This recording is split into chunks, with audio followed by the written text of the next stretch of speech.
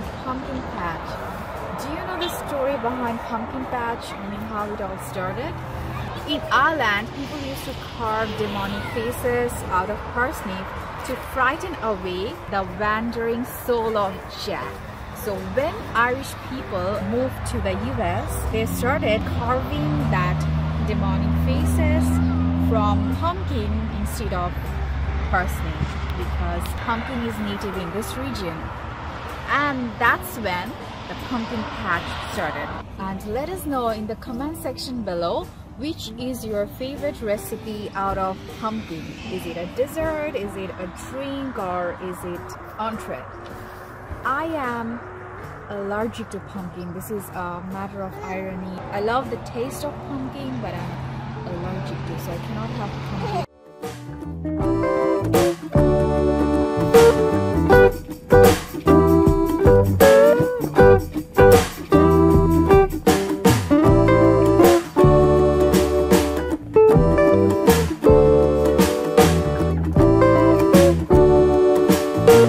Thank you.